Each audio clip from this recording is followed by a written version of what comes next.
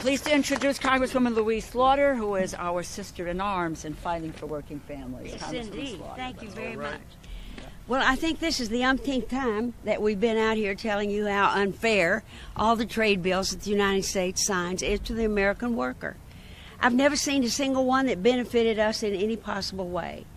And you know, I've told you till I know that you probably recite this every night before you go to bed that Eastman Kodak in Rochester went from 62,000 employees to 6,000 in bankruptcy because of NAFTA. And we, uh, uh, I'm really pleased that we're having a chance to change some of the awful provisions in that bill, certainly ISDS.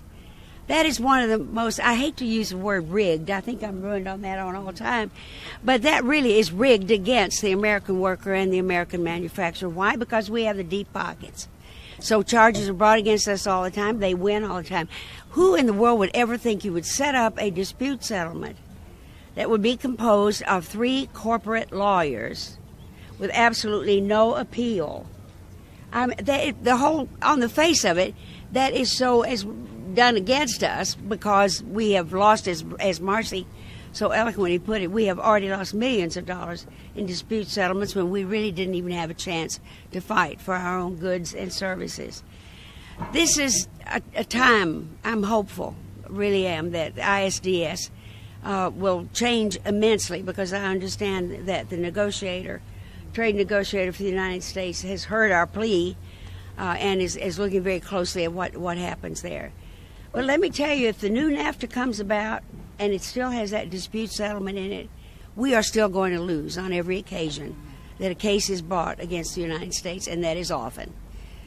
The workers in the United States, oh, we owe them so much more than we've been able to give them, but goodness knows we've tried. As I said before, I, am always proud to come out and stand with these great people and, and to have to all of you be here to listen to us a little bit. Uh, we've seen devastation all over the country. About half of the manufacturing jobs that were at Kodak uh, in Rochester, Frank, uh, rather, before NAFTA are gone. We're trying to reverse that, and Kodak is starting to make a bit of a comeback under extraordinary leadership. So I'm glad all of you here today. I'm glad to add my voice and that of my constituents to the fact that we want a fair deal for a change. Uh, and I hope that we do get it, and we will not let up until we do. Thank you.